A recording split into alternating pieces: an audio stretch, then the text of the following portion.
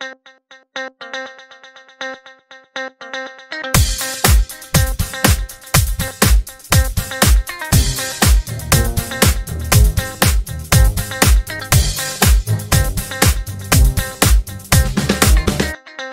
नमस्कार I P एलचा रणसंग्राम दोन हजार बावीस. निलेश आणि सोनिया पुन्हा तुमच्याकरता घेऊन आलोय हा कार्यक्रम. आज आहे सोमवार नवीन आठवड्याची सुरुवात. आठवड्याची सुरुवात नेहमीप्रमाणे आपण करूयात पॉईंट्स टेबलनी बघूयात कोणती टीम कुठे आहे ते.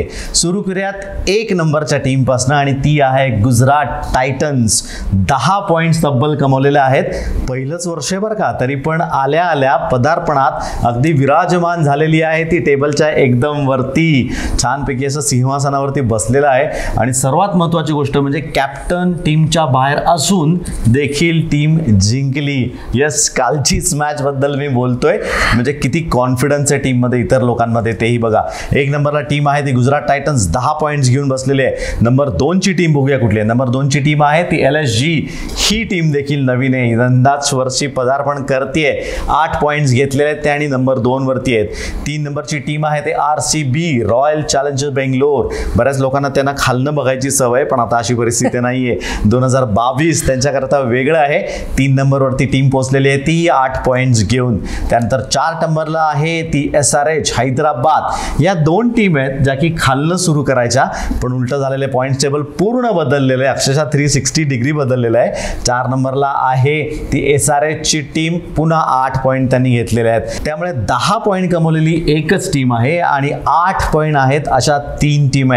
त्यानंतर येऊयात सहा पॉईंटच्या टीमकडे सहा पॉईंट्स घेतलेली टीम आहे पहिली टीम म्हणजे पाच नंबरची टीम राजस्थान रॉयल्स ज्यांची की आज मॅच आहे.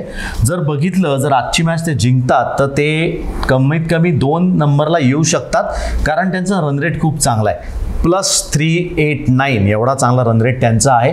त्यामुळे शक्यता आहे त्यांना की ते आज वरती जाऊ शकतात.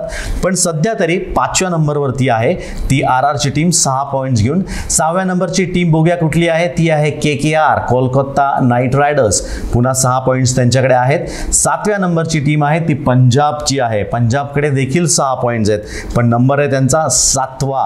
आठव्या नंबरवरती टीम आहे ती दिल्ली कॅपिटल्स फक्त चार पॉईंट्स त्यांच्याकडे आहेत.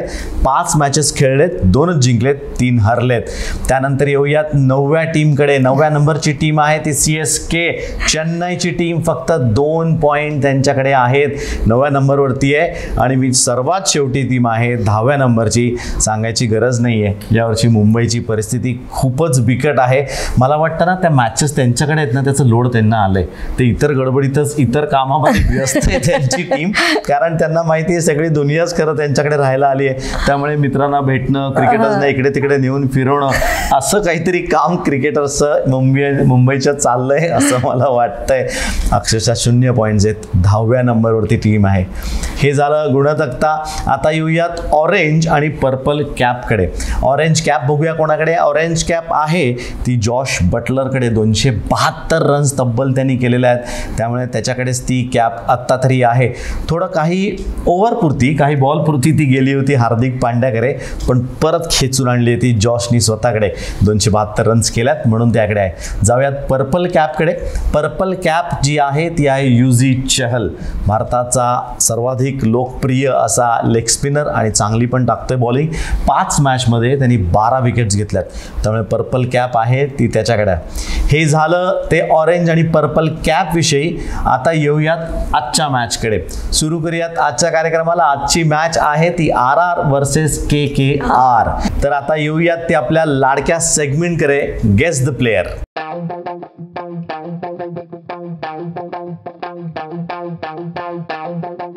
तुम्हाला माहिती आहे तुम्हाला ओळखायचा असतो तो गोलंदाज फलंदाज किंवा फिल्डर ते आम्ही तुम्हाला सांगतोच आहोत कोण आहे तो. आणि बघूयात आजचा प्लेयर कोण आहे. Guess this player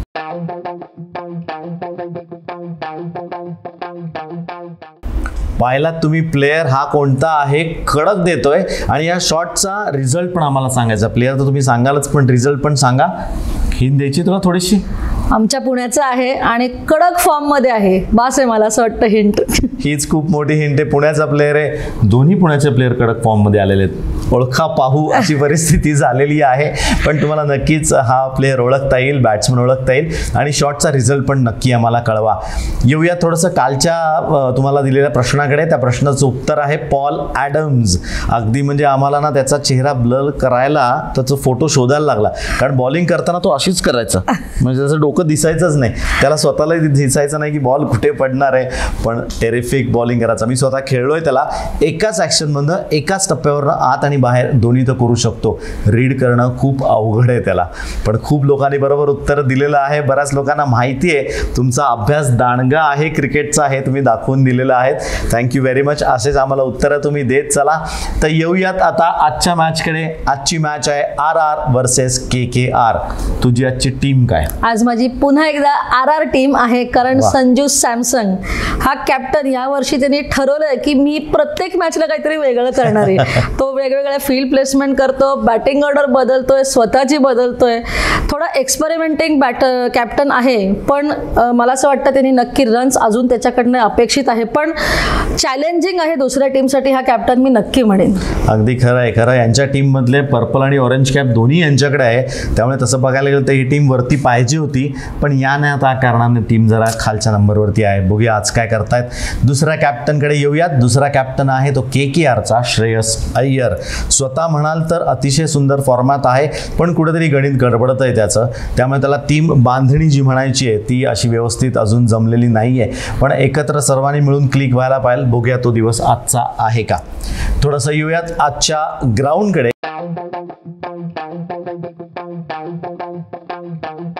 he match खेळवली जाणार आहे. ती ब्रेबॉनवरती ब्रेबॉनच्या विकेटविषयी बोलूयात. काय सांगशील विकेट विषयी? विकेट विषयी बघायला गेलं तर मी म्हणलं तसं की ट्रॅडिशन आहे की पहिली बॉलिंग करणं. पण एक विचार करण्यासाठी सारखी गोष्ट राजस्थान रॉयल्ससाठी मी म्हणेन की त्यांनी आत्ता पाच मॅचेस खेळल्यात आणि तीन मॅचेस जे जे जिंकलेत ते पहिली बॅटिंग करून जिंकलेत. सो त्यांनी टॉस जिंकला तर बॅटिंग करायला काही हरकत नाही असं मला वाटतंय. हा फक्त तुझा ॲडवाईस राजस्थानसाठीच आहे का सगळ्यांसाठी म्हणून? हा मी म्हणेन फक्त राजस्थानसाठी कारण त्यांचा रेकॉर्ड बघता हा त्यांच्यासाठी दिलेला ॲडवाईस आहे. उत्तम अभ्यास आहे याच्या मागे नक्कीच की राजस्थानसाठी हा स्पेशल ॲडवाईस आहे. तर त्यांनी घ्यावा असं आमचं तरी म्हणणं राहील इथे बसून. तर आता येऊयात प्लेईंग इलेव्हनकडे बघूयात काय असेल आर आरची आज प्लेईंग इलेव्हनची साईड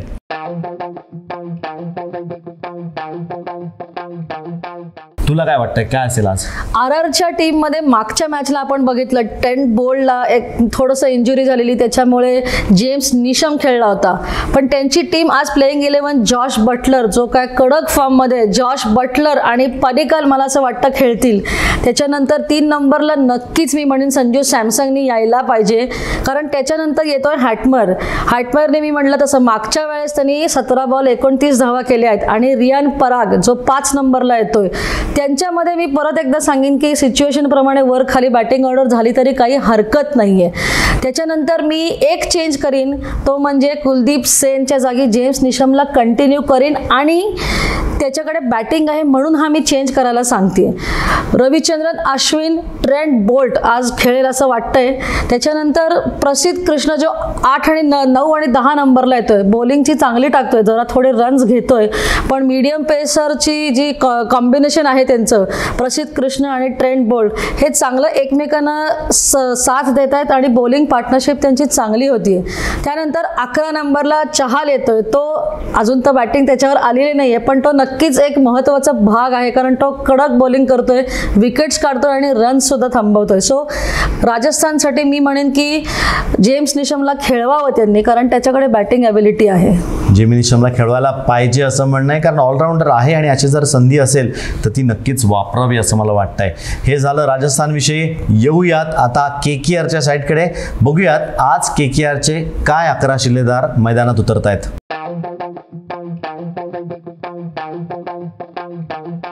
के के आरचं थोडं बोलूयात. मागच्या मॅचविषयी हरलेले आहेत. मागची मॅच सात विकेटनी हरलेले आहेत. ते पण हैदराबादनी त्यांना हरवलेलं आहे.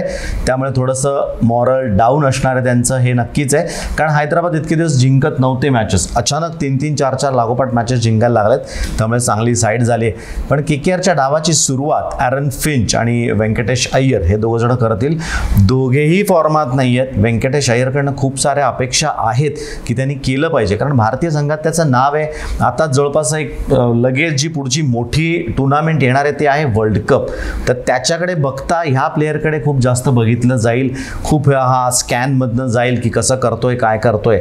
जर त्याला त्या पंधरामध्ये नाव आपलं स्वतःचं नोंदवायचं असेल तर ह्याच हीच जागा आहे हाच तो प्लॅटफॉर्म आहे जिथे त्याला चांगलं करावं लागेल. ॲरन फिंच त्याला कशी साथ देतोय बघायला हरकत नाही कारण अजिंक्य राहणेसारखं मोठं नाव बाहेर बसवून ह्याला संघामध्ये संधी दिलेली आहे. त्यामुळे प्रेशर हे नक्कीच त्याच्यावरती असणार आहे. आहे. तीन नंबरला श्रेयस अय्यर स्वतः येतोय. मागच्या मॅचला सुंदर गोलंदाजीचा बळी पडला होता तो. त्याला प्लान करून आउट केलं होतं. पण तिथे त्याचं मेंटली तो किती वीक आहे असं जाणवलं. कारण शॉर्ट बॉल शॉर्ट बॉलसाठी तयार होता का? तर पुढचा आलेला बॉल अडवणं एवढं त्याच्या हातात होतं. पण ते तो करू शकला नाही. कारण त्यांनी पहिले डोक्यात ठरवून ठेवलं होतं की मला द्यायचेच आहेत. असं करून बॅटिंग होत नाही. जो बॉल ज्याप्रमाणे येतो त्या मेरिटप्रमाणेच तुम्हाला खेळायला लागतो. हे अय्यरकडनं अपेक्षित आहे. त्यांनी हे केलं पाहिजे. त्याच्यानंतर येईल बॅटिंगला तो नितेश राणा. तो चांगल्या फॉर्मात आहे सेन्सिबली बॅटिंग करतोय गरज असते तेव्हा रन्स जरूर करतो. नंतर आंड्रे रसलला पाठवलं जातं किंवा पॅट कमिन्स किंवा सुनील नारायण ही दोन तीन नावं जी आहेत फॉरेन प्लेअर त्यांच्याकडे आहेत त्यांचा क्रम हा काहीतरी बदलला जातो. सुनील नारायणला वरती पाठवलं जातं कधी कधी पण आता असं बघायला गेलं तर गेल्या दोन ते अडीच वर्षामध्ये सुनील नारायणला वरती पाठवून त्याने काही विशेष दिवे लावलेले नाही आहेत एक तर त्याला डायरेक्ट तीन नंबरला पाठवायचं किंवा वरती ओपन करायला लावायची. ज्यावेळेस डुआय डाय सिच्युएशन असते. त्यावेळेस हे ठीक आहे पण त्या माणसाकडनं सुद्धा तुम्ही किती अपेक्षा ठेवणार? गोलंदाजी करतोय चांगला म्हणून बॅटिंग केलीच पाहिजे असं काही गरजेचं नसतं. त्यामुळे अंडर रसलच यायला पाहिजे त्याला जास्त बॉल खेळायला दिले तर दोनशेच्या पुढे धावसंख्या न्यायची ताकद त्याच्याकडे नक्कीच आहे. त्यामुळे केकेआरला तो एक फायदा होऊ शकतो. त्यानंतर शेल्डन जॅक्सन येतो. हा काय काम करतोय? तर विकेट ज्या पडलेल्या असतात तर येऊन सिंगल डबल खेळून चांगल्या प्रकारे समोरच्या माणसाला तो प्रोत्साहन देतो आणि विकेट जाऊ देत नाही. हे महत्त्वाचं काम शेल्डन करतोय. किपर म्हणून तर तो संघामध्ये आहेच आहे. त्यामुळे तो एक डबल फायदा त्याच्या नावाचा या संघाला होतो. नंतर पॅट कमिन्स बॅटिंगला येऊ शकतो. पण त्याचा सुद्धा नंबर जो आहे तो अजून फिक्स काय ठेवलेला नाही आहे मागची मॅच आपण बघितलं तर पॅट कमिन्सला फक्त एक विकेट पडली होती आणि चाळीस रन्स भरपूर कुठला पण होता त्याला. काहीतरी कळलंय लोकांना समजलंय की पॅट कमिन्स कुठं टाकणार आहे. त्यामुळे ठरवूनच त्याला मारलं जात आहे. त्यानंतर सुनील नरेन स्पिन बॉलिंगसाठी या संघामध्ये असणारच आहे आणि असायलाच पाहिजे. चार ओव्हरमध्ये फक्त तेवीस रन त्याने दिलं होता मागची मॅच विकेट त्याला नव्हती. पण मी नेहमी तेच सांगतो युज युझीचलचं घेतलं किंवा आपण इतर लोकांचं घेतो विकेट युझीकडे आत्ता यस पर्पल कॅप आहे. पण यांना विकेट कमी पडतात कारण यांना लोक सावधगिरीने खेळतात. जास्त मारायला जात नाहीत त्यामुळे यांना वीस तेवीस चोवीस एवढेच रन देतात आणि याचा फायदा समोरच्या बॉलरला होतो. तो त्या विकेट काढून टाकतो कारण प्रेशर आलेलं असतं. त्यामुळे न सुनील नारायण शंभर टक्के संघात असणार. तर युमेश यादव आणि नवीन बॉल टाकणारे तो आमन खान. नवीन एक नाव इंट्रोड्यूस त्यांनी केलं होतं अमन खानचं. त्यामुळे चांगली गोलंदाजी करतोय. एकच ओव्हर दिली होती. तेरा रन त्याला त्यांनी दिल्या होत्या एका ओव्हरमध्ये. पण चांगल्या लईत वाटतोय मला. त्यामुळे त्याला संघात आज ठेवतील असं मला वाटतंय. दुसरा सध्या पर्याय तरी त्यांच्याकडे नाही आहे पण अजून एखादी मॅच त्याला द्यायला हरकत नाही. नंतर एक स्पिनर राहतो तो वरुण चक्रवर्ती. तो सुद्धा नरेन आणि दोघं जण खूप सुंदर गोलंदाजी करतात तर साधारण असे काहीतरी आज अकरा शिलेदार संघात असतील असं वाटतंय. मला असं वाटतं मी एक गोष्ट ॲड करीन तुझ्या के के आरच्या टीममध्ये की त्यांच्याकडे ना ऑलराऊंडर्स दोन तीन असल्यामुळे ते त्यांना वापरू खूप छान पद्धतीने शकत आहेत त्यांच्याकडे एक पर्याय राहतो की कोणाला कुठे पाठवायचं. स्पेशली अँड्रे रसेल आणि पॅट कमिन्स ते वर खाली त्यांची बॅटिंग ऑर्डर करू शकतायत. करू शकतायत पण त्याचा उपयोग श्रेयस अय्यर करून घेत नाहीये असं मला वाटतंय. कुठंतरी गणित त्याचं बिघडचं एक कॅल्क्युलेटर घेऊन बस बाबा आज म्हणजे साधारण तुझं गणिताचे हिशोब बरोबर लागतील.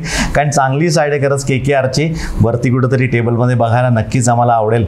तर येऊयात आजच्या टॉप परफॉर्मर्सकडे सुरू करूयात आर आरपासून. आर आरपासून बघायला गेलं तर टॉप बॅटर जॉर्ज बटलर मी पुन्हा एकदा नाव घेईन. कारण तो खरंच त्याची बॅटिंग बघायला छान वाटतंय. म्हणजे तो रॅश शॉट्स मारत नाहीये. तो प्रॉपर बॅक क्रिकेटिंग शॉट्स मारून रन्स करतोय. मागच्या मॅचला पन्नास केले चोवीस बॉलमध्ये टॉप बॉलर बघायला गेले तर चहाल पर्पल कॅप होल्डर आहे. तो बॉलर असणारच आहे आमचा. आणि टॉप ऑलराऊंडर थोडा मी यावेळेस म्हणेन की रियान पराग त्यांनी एक विकेट घेतली आहे त्याच्याकडे बॉलिंग करण्याची कपॅसिटी आहे. आवडेल अजून संजू सॅमसंग त्याला थोडं वापरलं बॉलिंगमध्ये तर? फरक पडू शकतो. त्यांच्याकडे चांगले ऑलराऊंडर्स तुमच्याकडे देखील आहेत. पण त्याचा वापर कसा होतो ते बघणं खूप महत्त्वाचं आहे. येऊयात आता के के आरच्या टॉप परफॉर्मर्सकडे सुरू करूयात बॅटिंगपासनं बेस्ट बॅटर टॉप बॅटर म्हटलं तर श्रेयस अय्यरकडे मी पुन्हा एकदा जाणार आहे. खरं सुरुवात चांगली मिळते त्याला. डावाची सुरुवात करतोय स्वतःची. पण नंतर कुठंतरी गडबडतोय. ते तीस बत्तीस झाल्यानंतर ना थोडं पाच दहा रन थांबून करणं. अगदी पर बॉल एक रन केली तरी हरकत नाही. पण एकदा तो पल्ला पार काढला. चाळीसपर्यंत हा पोचला. तर हा ऐंशी नव्वद केल्याशिवाय काय थांब थांबणार नाही आणि आऊट होणार नाही हे सर्वात महत्त्वाचं आहे. कारण त्याच्या भात्यामध्ये सगळ्या प्रकारचे शॉट्स आहेत तो वापरू शकतो. येऊयात बॉलरकडे टॉप बॉलर म्हटलं तर सुनील नरेनच्या व्यतिरिक्त दुसरं नाव नाही आहे पॅट कमिन जोरात टाकतो पण रन्स पण तेवढे देतो. त्यामुळे सुनील नरेनचं नाव मी घेणार आहे. अतिशय सुंदर गोलंदाजी करतोय. एक्सपिरियन्स आहे विंटेज वाईन होत चालली आहे त्याची. जेवढे वर्ष जास्त क्रिकेट खेळतोय तेवढी चांगली गोलंदाजी करतोय तो. ऑलराऊंडर टॉप ऑलराऊंडर म्हणाल तर नाव आहे Andre Russell. Dre Russell yes तो जोर जोरात मारतोय जोरजोरात बॉलिंग करतोय सगळं करू शकतोय. फक्त हे दोघं तिघं जण एक साथ क्लिक होणं गरजेचं आहे. आणि ते क्लिक करायला जे बटन असतं ते आहे ते श्रेयस अय्यरच्या हातात. तर तो कधी ते बटन दाबतोय ती कळ कधी दाबतोय ते बघणं खूप महत्त्वाचं आहे. त्यामुळे हाच एकंदरीत कसा परफॉर्मन्स होणार आहे आपल्याला कळेलच. तर आता येऊयात प्रेडिक्शन स्कोरकडे साधारण काय ग्राउंडवरती स्कोर तुला योग्य वाटतोय? ज्या रेटने के के आरचे बॅटर खेळतायत आर आरचे बॅटर खेळतायत वन एटी प्लस व्हायला काही हरकत नाही आहे एकशे ऐंशी ते एकशे नव्वद यस ही धावसंख्या व्हायची शक्यता आहे. आणि ॲटपार स्कोर होऊ शकतो. जर तुम्ही एकशे ऐंशी क्रॉस करता तर तुम्हाला शक्यता आहे की तुम्ही मॅच तुमच्या खिशात टाकू शकाल. कारण तेवढे चांगले तुम्ही त्या डिफेंड करू शकता. बॉलरसुद्धा दोन्ही टीमकडे तेवढे चांगले आहेत. तर येऊया आजच्या आपल्या खास किस्स्यांकडे. ड्रेसिंग रूमचे किस्से.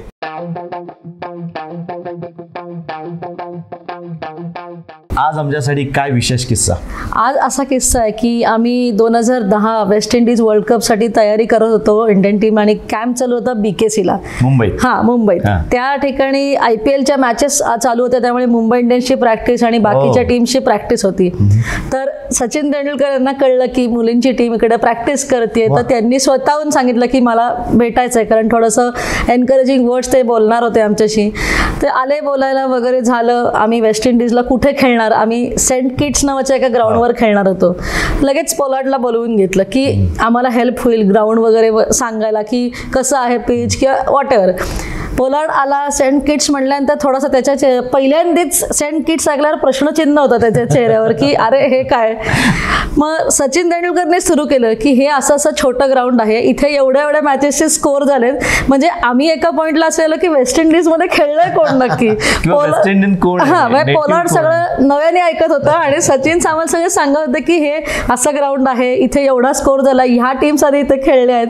म्हणजे आम्ही असं होतो की हे जे नॉलेज देव आपण उगाच नाही म्हणत सचिन तेंडुलकरला. आहे. उगाचच त्याला देव उपाधी दिलेले नाहीये कारण सगळ्यातलं सगळं माहिती आहे. आणि आपल्याकडे जे आहे ते भरभरून लोकाला द्यायचं आहे हा त्याचा मागचा जो दृष्टिकोन आहे तो खूपच महान आहे. आणि त्याचमुळे एवढा मोठा थोर माणूस देखील आहे. आणि स्वतःला तो ज्या पद्धतीने कॅरी करतो तो कोणीही करू शकणार नाही. मान आहे. देव नमस्कार. तुला असे कोटी कोटी प्रणाम. तर असे सचिनचे किस्से आम्हाला अजून ऐकायला खूप आवडतील. मला माहिती आहे तुम्हाला देखील आवडतील. तर आजचा किस्सा कसा वाटतोय ते आम्हाला जरूर कळवा. कमेंट्समध्ये तुम्ही कळवा. खूप साऱ्या कमेंट्स तुमच्या येत आहेत.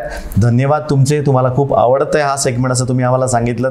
त्याकरता जास्तीत जास्त किस्से आपण तुमच्याकरता घेऊन येणारच होत तर येऊयात आता पुन्हा एकदा आजच्या मॅचकडे बघूयात आजची मॅच कोणामध्ये आहे. आजची मॅच आहे श्रेयस अय्यर वर्सेस रविचंद्रन अश्विन. या दोघांमधली एक डोक्यानी गोलंदाजी करतो एक डोक्यानी फलंदाजी करतो. त्यामुळे हे चेस खेळणार आहेत बहुतेक समोरासमोर. असं वाटतंय बघूया आज काय होतंय. दुसरी मॅच आपण परत म्हणतोय ती आहे ती Andre Russell versus Yuzi Chahal खरंच एक चेस प्लेअर आहे आणि एक ताकदीनी मारणार आहे. तर म्हणजे इकडे जर हत्ती यांनी घुसवला हा उंटासारखा जोरात येऊन याला कुठच्या कुठे मारून जाईल हे कळणार नाही. त्यामुळे हे पण फाईट बघायला मजा येणार आहे.